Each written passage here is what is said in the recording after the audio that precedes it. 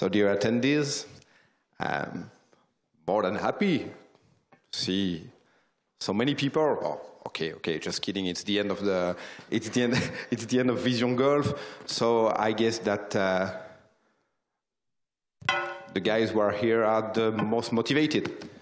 Uh, so I'm more than happy to moderate the last panel of this first Vision Golfe, brilliantly organized by, uh, by Business France. The last panel is simply named Mega Project that Shapes the GCC. Actually, it would have been the main theme of this today event. Uh, for people who know a little bit the GCC region, the main characteristic to describe its economic blast is um, mega or giga we love to uh, we love to use those, those kind of uh, those kind of words when we when we when we live in the Gulf. Uh, I, I, used to live there during the five past years, and uh, yes, the term giga, mega, and we should even invent a, a bigger word. So, um, so, maybe one day, yes, we will find another big word, a bigger word to talk about the ambition of the region, but let's stay focused on the expression mega project. GCC is indeed the world region where the, the announcement of giga project is the most frequent. You cannot open a local newspaper, and I'm well placed because I, I often write in uh, Arab news, um, without, um, without reading about one of the mega or giga project planned or under process uh, in the region. During the five past years, I used to be the dean of the French Arabian Business School in the Kingdom of Bahrain, um, heading the MBA and the Executive MBA on, uh, on behalf of ESSEC Business School, very well-known uh, business school. Last year, I have been recruited by SKEMA, another one, it's a bit less ranked, but okay, uh, to, to be the, the Dean of the Master of Science named Program and Project Management and Business Development. So it completely sticks with the, with, with, with the team of the, the, the main team of this, uh, of this one table. And to be honest, my students are trained to be part of this kind of project. Uh, many of them are directly contacted by the companies operating in the Gulf uh, for PMO, uh, project management uh, officer positions, or by consulting companies um, working directly for the projects. Therefore, I can testify that the business run projects in the GCC is vibrant and very attractive. So today I propose to see two aspects of the mega projects with the guest of the panel. First, Charles-Emmanuel uh, Charles de Beauregard, head of CIB at uh, Qatar National Bank is the best place to talk about the very important subject of financing those projects and the way investors and contractors should position themselves on these opportunities. QNB is the bank of many mega or giga projects in the GCC, and I am more than certain that, that Charlie Emmanuel has some experience to share with us. Our guest intervenes during the next step of the project, once at least part of the money is there. It represents the French expertise is one, in one of the five Saudi Giga projects that, uh, that are supposed to be the drivers of the Vision 2030 strategic plan of the kingdom. Kingdom of Saudi Arabia, of course. I am sure that Nicolas Lefebvre, head of uh, tourism and hospitality at uh, Agence Française for Alula, will explain us how it is to be an actor of a project that is actually reshaping a whole country and what are the non-visible challenges and the side effects of such a job. The aim of this panel is first that at the end, the participants, yourselves, and I'm sure that you are highly motivated, of course, um, have some keys to check whether the project they are looking at is mature or not. Second, the participants will have a clear view on what kind of business could be done with the mega projects in the Gulf. From my side, I will try to challenge my two speakers by asking them if they can identify in what extent those projects are shaping the Gulf. Obviously, they are physically shaping the landscape. Uh, Lusail City in Qatar, Diriyah in Saudi Arabia, or Mohammed bin Rashid Solar Park in Dubai will be visible and remarked by the visitors. But those projects will not only shape the Gulf physically, they are part of a wider vision, a wider development plan that is supposed to embed the world population to increase the global level and the human capital of the country, of the countries. The amount of investment requested to launch, run, and achieve such projects entails many other aspects than just construction fees. What I often say to my students is that what defines a project is that there is a beginning, there is a running of this project, and there is a end of the project. And it is the most important thing when you want to, uh, to manage things uh, based on project, you always, have to, you always have to think about the ending of the project. There is a timeline, and at the end of this timeline, it has to be delivered. The Gulf region is engaged in a wide shift to prepare the, to prepare the, the post-oil era. This shift is full of projects, but those projects are very often part of large-scale events or wider plan. Lusail City, for example, in Qatar, wouldn't have been achieved without the perspective of the FIFA World Cup in Qatar.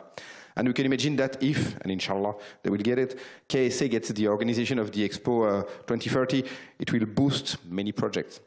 Therefore, the shaping action of those projects has to be conceived through specific and different prisms we will have to decode. So first, Charles-Emmanuel de Beauregard, can you introduce yourself and, and your role in, in a few words?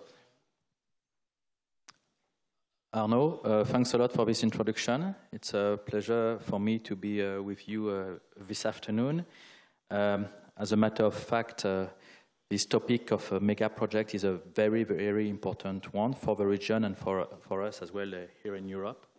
Um, so my name is uh, Charles-Emmanuel de Beauregard. Um, I work for Qatar National Bank. I am very lucky to be the head of uh, the team in charge of a relationship with uh, corporate and financial institutions here in Europe. Um, previously, I worked in, in, in, the Gulf for six years, which is a, an experience which I really appreciated.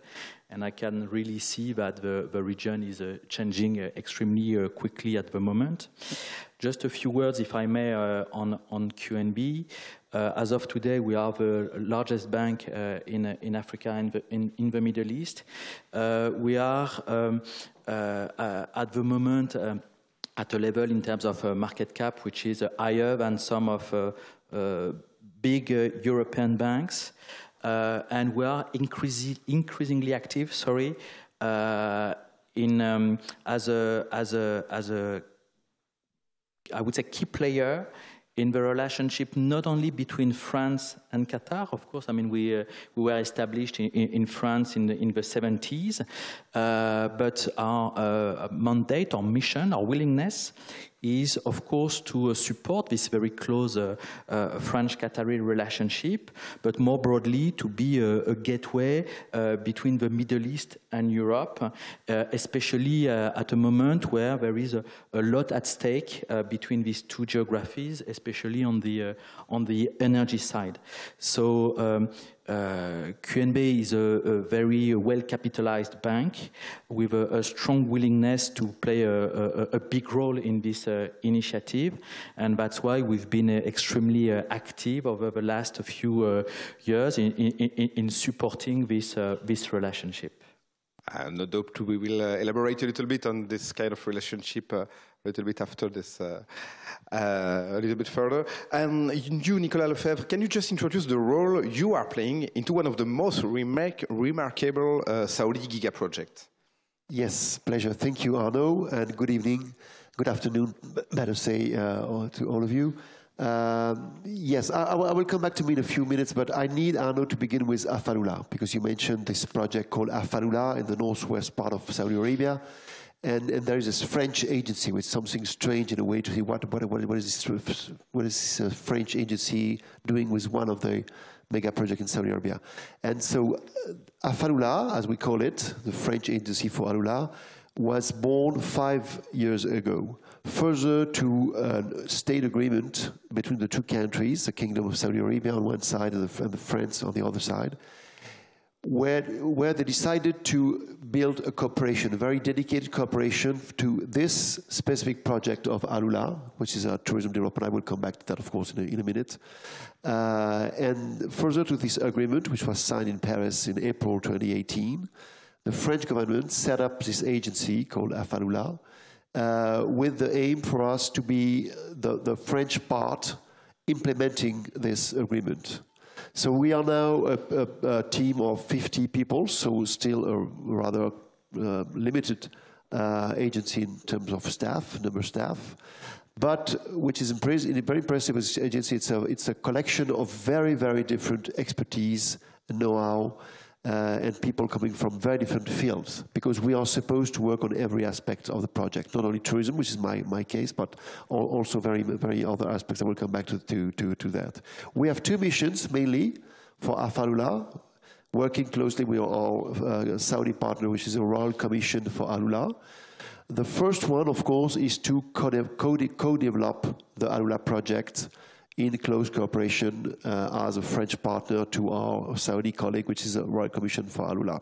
And the second one is to bring and infuse French expertise and know-how in the project. And of course, for the benefit of the project, of course. Um, coming to, to, to, me very quickly now, if I, if I may. So uh, within this team I just described very quickly, I am the one in charge of tourism and hospitality, which is one part of the project. As I said, it's in, in a way a very important part because the goal with ALULA is to develop a tourist destination, but there is a lot of other uh, skills and aspects which are developed at the, at the, at the. So for, for, as far as I'm concerned, there were two main aspects, two main areas for me. The one, the first one is de destination marketing. So I work closely with the team in charge of making that this new destination is well known and well promoted all around the world. And the second is to contribute to the development of a tourist offer because of course there is no destination without a specific tourist offer which has to be developed. And so if, to make it very short, I would say my role is to contribute to make sure that this amazing place called ALULA will become the future a very well-known and attractive tourist destination in the world. Uh, and, and, and known also around the world as a uh, sustainable, uh, desirable uh, tourist destination. Right, I, I completely got this point, and uh, and very rich to have such a panel. We are not very uh, we are not too many people uh, around the table, but at least there is the, the, the there is the guy who operates, and the guy is the guy who is supposed to to fund and to find some way to finance those uh, those projects. And so, Charles Emmanuel, what is the role of a bank such as QNB in the funding of those projects? What are the criteria used to decide to uh, to give some money or not to give some money? Uh, I think that many of many people are interested uh, are interested in how can you take money from QNB. So, can you explain us? Okay, so thank you very much, Arnaud, for this uh, very straightforward question. It's an important one. Um, if you allow me, I would like to take a, a few minutes on uh, what is the, uh, the, the, current financial standing of a region by making a bit of a history. Uh, I think it is really, really important for everyone to understand that uh, oil and gas are generating circa 80, 90% of the revenues of these countries. And so uh, in terms of financial means, all these countries are very, very dependent on the price of oil and gas. Uh, everything uh, was going very smoothly until, until uh, 2014, when uh, I would say all of a sudden oil and gas went down sharply. Let's not forget that uh, a few years back, the, uh, the price of oil on the forward market was below zero, below zero. So it means that producers had to pay, not on the spot, but on the forward market, I had to pay for people to buy their oil. That was the reality. And this led to um, very large budget deficits for these countries, first of which being Saudi Arabia. And all of a sudden, Saudi Arabia, but that was also the case for the UAE, for Kuwait, for Qatar, and so on, had to face a massive uh, budget deficit uh, compared to, to their size. Um, I must say that uh, these countries have been extremely reactive in addressing the situation. Just as an anecdote, some of these countries did not have any department in charge of, in charge of managing the debt simply because there was no debt. I mean, for us, French, it would be a dream come true. There was no debt at all because they were running on budget surpluses.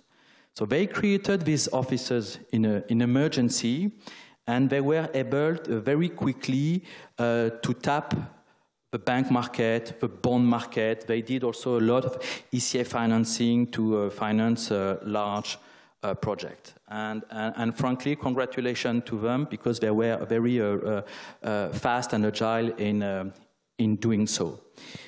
Uh, at that time, of course, the uh, banks from the GCC were impacted in terms of their ability to uh, finance this large project precisely because a lot of this liquidity was used by the sovereign and it is a time where a lot of uh, international banks uh, established or strengthened their presence in the Middle East to support this project. Um, all the GCC countries are also, of course, very uh, conscious that they need to diversify and this situation uh, led them to accelerate this, uh, this uh, large uh, infrastructure uh, project. Where are we at the moment? The, the, the situation has changed quite a lot, simply because the price of oil and gas has gone up again. Just as an illustration, last year, Qatar uh, due to the price of gas, has uh, generated a, a budget uh, excess which is estimated to be 25 billion US dollar for a, a small country. Uh, as far as other countries are concerned, well, uh, it depends, of course, but their financial situation now is certainly much better than what it was two or three years ago. And um, this has uh, also uh, proven to be uh, the case as well for uh, banks from the GCC, which are, uh, I would say, completely uh, contracyclical.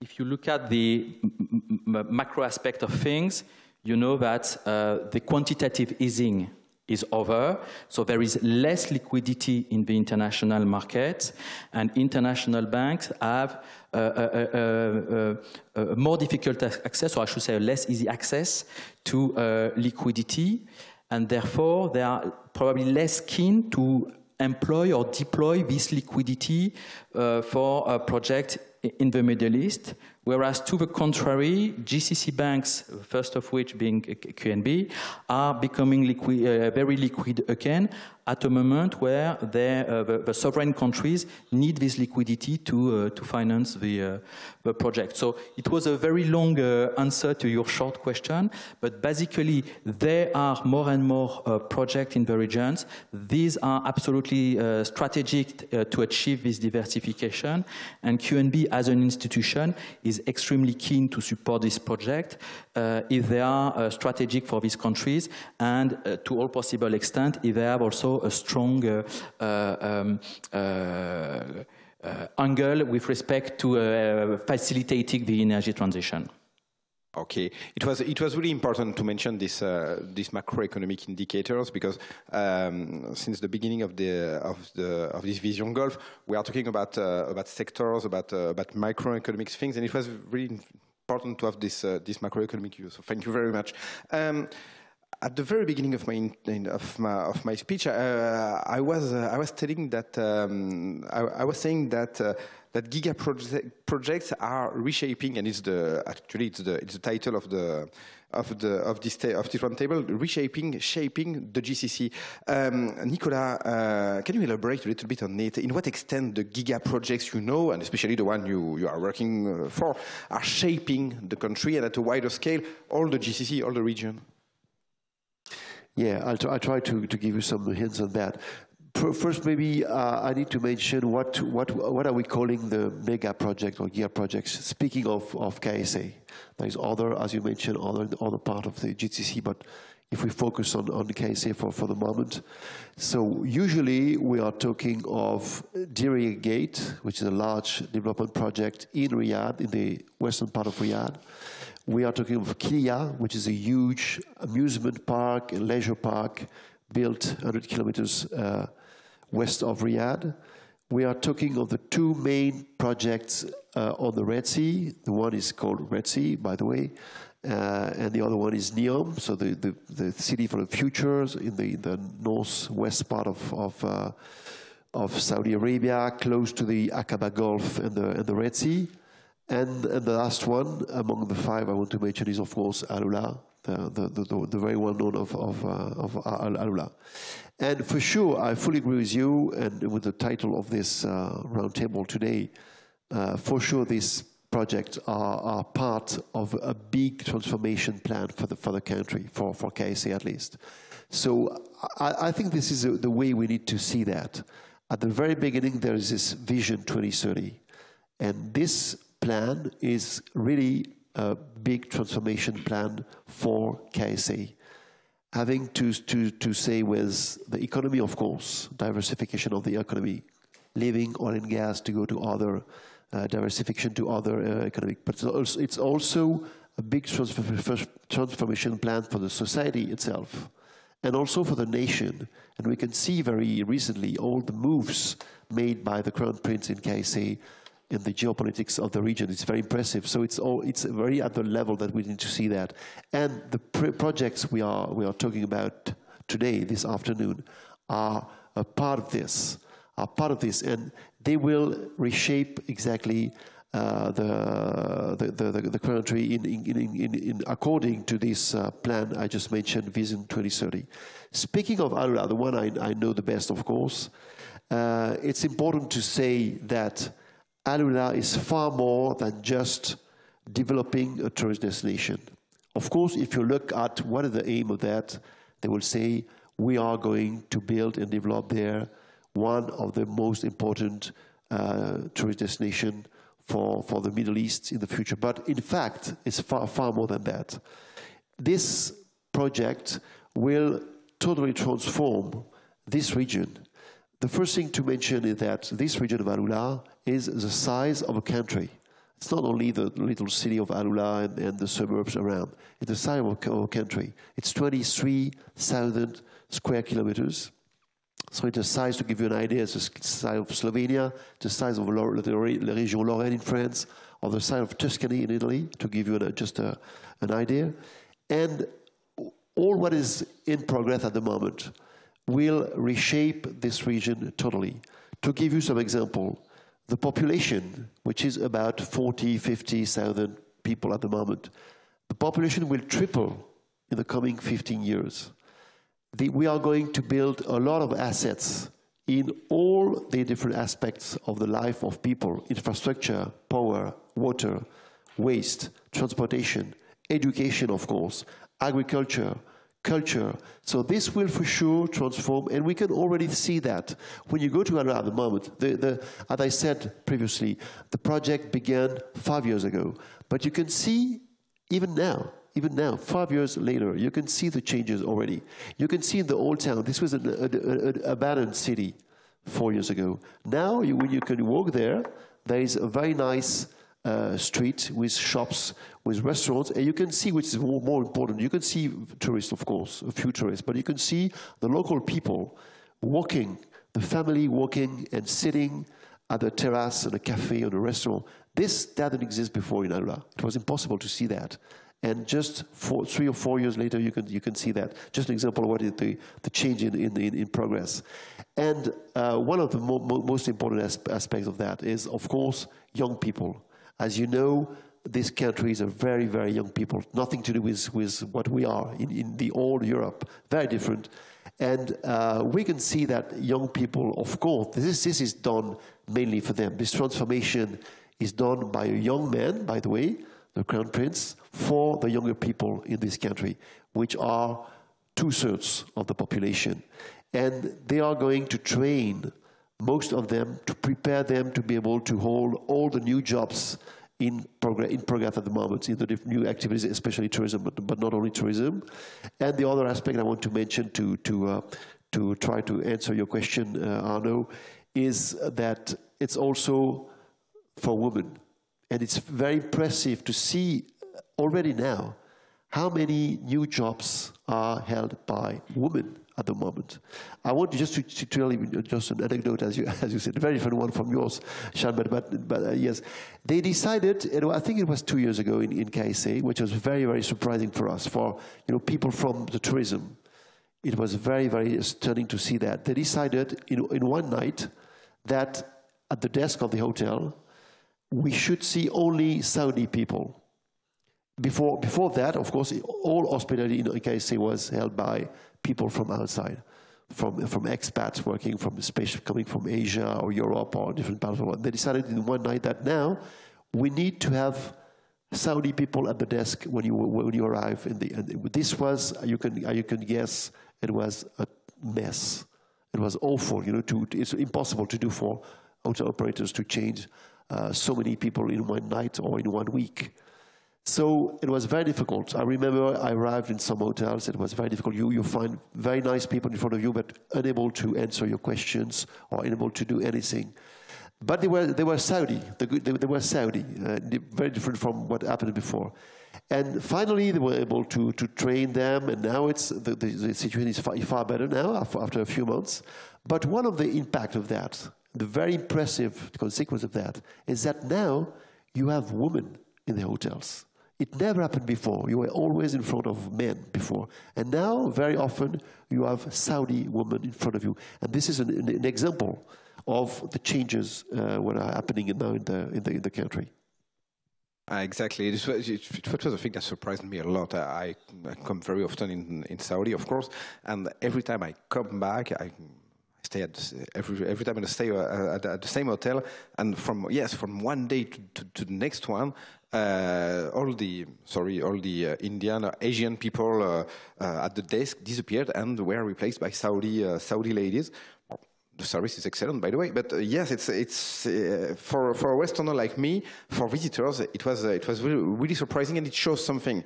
It shows something. It's not only it's a it's a it's a natural consequence of the project. Uh, of course, it's the vision, but the vision is uh, is embedded into the project. And by the way, uh, when I used to live in Saudi or in or in Bahrain. Um, every time I was opening a, a newspaper, uh, was, oh, this time we are going to build a metro in Manama, Bahrain. We are going to build a new airport. We are going to build a new bridge between uh, Qatar and, uh, and Bahrain, etc., etc. And so there are many, many, many uh, different projects announced. Um, Charles Emmanuel, the announcement of new projects are kind of very usual things in the Gulf. Uh, it's kind of uh, in nearly um, of national marketing, let's say this, what are the tips you can give us to know which ones are the most likely to be achieved quickly and to be delivered uh, to be to, to, to, to, be delivered at a, at a fast uh, at a fast uh, pace? Well, I would love to have a tip. Unfortunately, that's not the case. Ah, you are the one with the money, so you are supposed to know. no, but uh, I would like to put things into uh, perspective. Uh, indeed, there's a lot happening in the region with a lot of projects announced, and they are not small ones. If you uh, look at on a combined basis, there's something like maybe 800, 900 billion worth of projects which have been officially announced in the GCC with a very, very significant share in the, uh, in the Kingdom of Saudi Arabia. Uh, the key question here, as you rightly say, who's going to pay for that? Who's going to pay for that? Uh, and I would like just to, to, to, to, to take a, an example, a non-controversial one, but this is just to, to again, to put things into perspective. When NEOM was announced, it was announced for a total amount of 500 billion. Um, the current FX reserves of uh, the SAMA, which is the Central Bank of Saudi Arabia, is 400 billion. So is Saudi Arabia going to finance this project on its own? The answer is no. And they have been extremely clear about it. They will need money for this specific project and for others. Um, it's really a question of, I would say, uh, amount and timing, because uh, the, the, the, two aspects uh, go uh, together. Um, I don't want to uh, to, to, to spend too much time on, on figures, but typically when you uh, do a project financing, you need to put at least 20 to 30% of equity, and the rest is coming from financing. Uh, so 800, 9, 9 billion, 900 billion worth of projects, if they, have, if they are not funded by the budget, and they can't be funded by the budget, will have to be funded by uh, investors on the equity side. And this means theoretically 150, 200, 250 billion worth of equity. This is absolutely massive. Uh, it was interesting to, uh, to hear uh, Bruno Le Maire uh, yesterday talking about this Choose France event, which took place last year, where France was very happy to uh, report that uh, there was 11 billion of uh, foreign direct investment announced for France. GCC on a combined basis in, in terms of population is, is less than France. If you take Saudi Arabia, Qatar, UAE, and so on and so on. So it means that for this project, the region would need to attract 20 times, 20 times the amount of uh, foreign investment that uh, France has been able to uh, achieve through this event last year. So this is the, question, the, the key question. Where is the equity going to come from?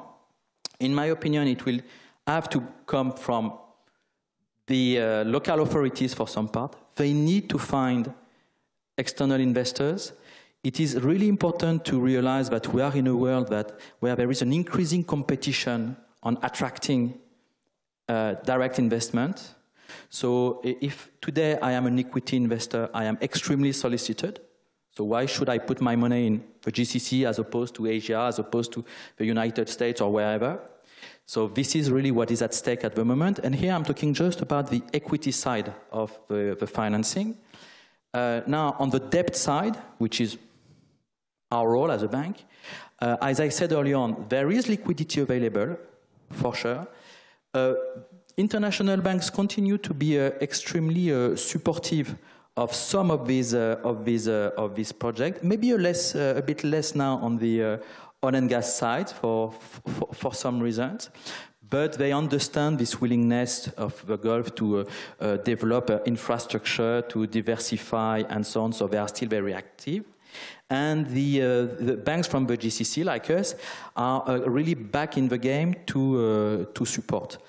But to me, it's really a, a, matter of understanding what is the timing for this project, because if you look at only the figures, uh, not everything will be, uh, will be uh, doable uh, in a very short time frame. For sure.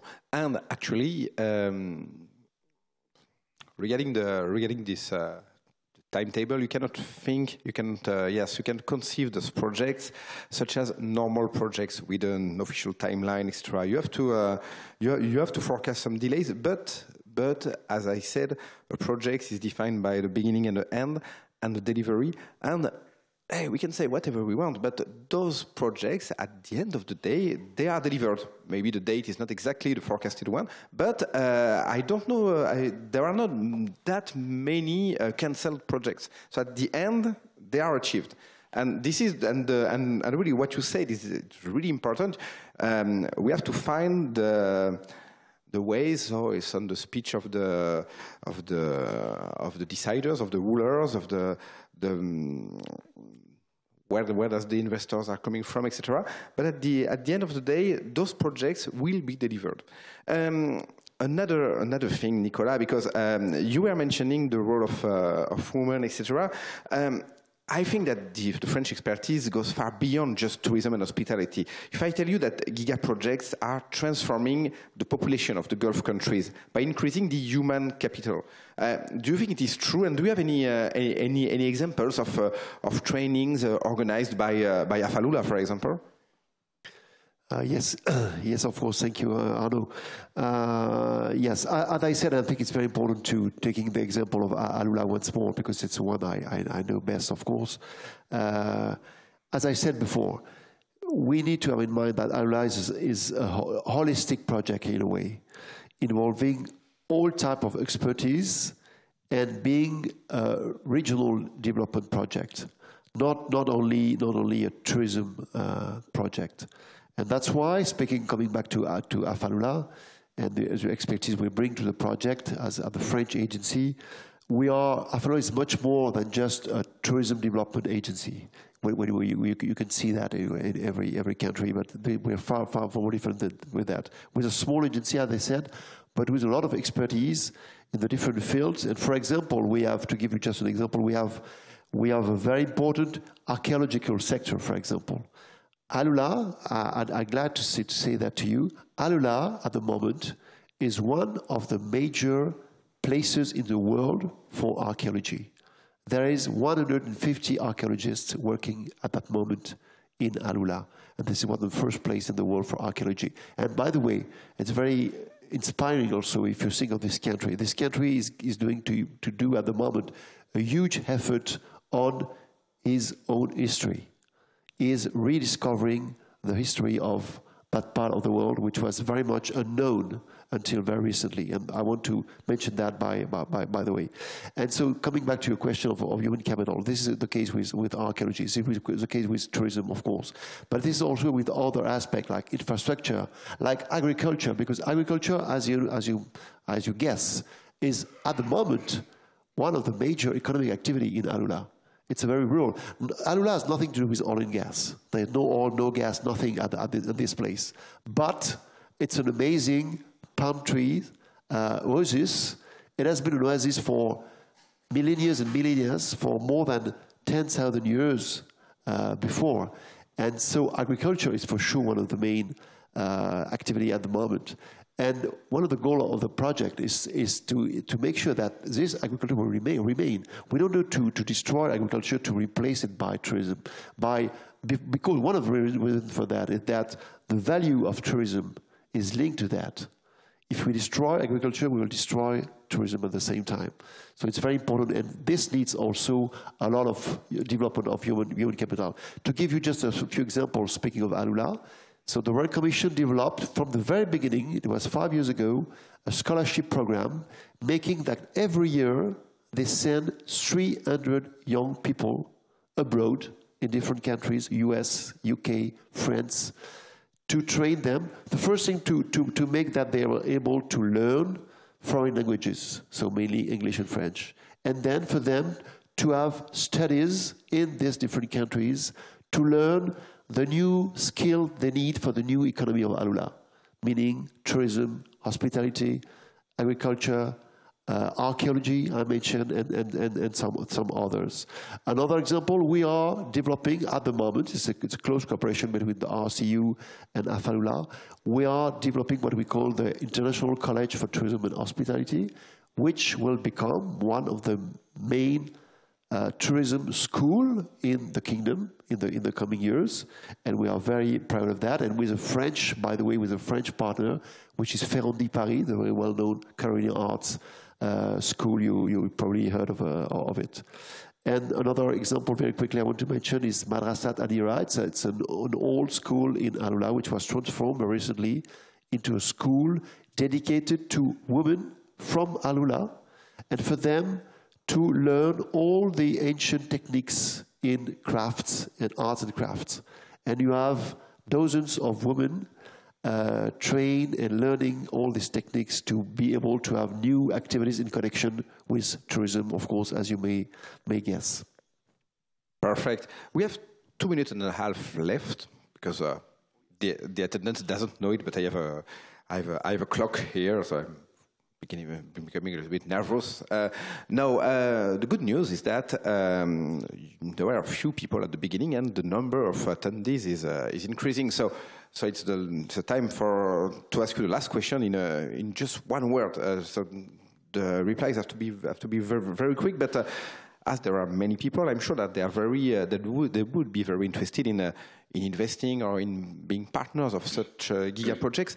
Charles-Emmanuel, I'm sure that, uh, that the people in the audience would love to, uh, to hear for your main recommendation, uh, how, to, uh, how to invest uh, safely. Well, of course, uh, asking this question to a banker is not, is not very, but what is, what is your, your recommendation to the, to, to, the, to the attendees, to, to, to, to the audience?